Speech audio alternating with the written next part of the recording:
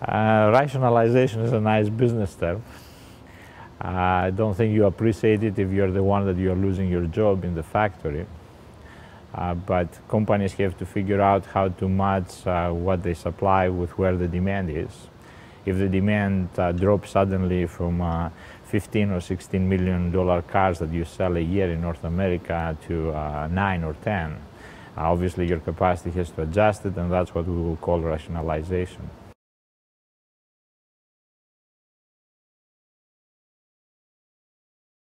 It's very important that that rationalization has to happen carefully. Uh, it could be that some companies might overreact and cut a lot more capacity than needed, which is hurting suppliers even more. So when uh, you see the demand dropping by 10% and you're adjusting by reducing your capacity by 20%, the supplier now suddenly sees a 20 to 30% drop in their demand and they have to adjust by 50%. But 50% will drive them out of business.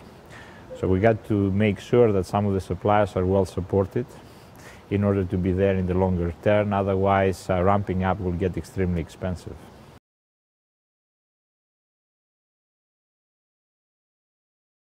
Uh, we forget the dependency between industries.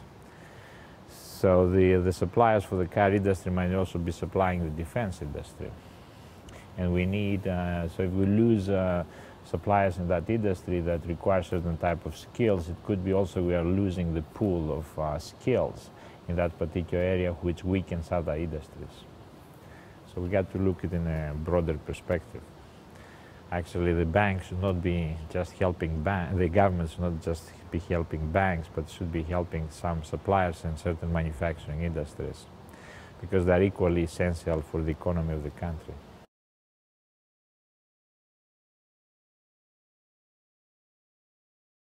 Well, um, it is the end of an era in the uh, U.S. auto industry. Is it the end of an era for American manufacturing? Many people will say that we have seen the worst times.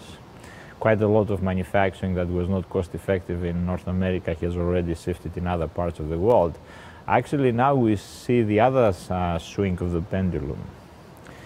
Uh, as certain uh, emerging markets, uh, they have the inflation pressures, as their currencies uh, have strengthened, they are not attractive as much. And we see some manufacturing get shifted back uh, to North America.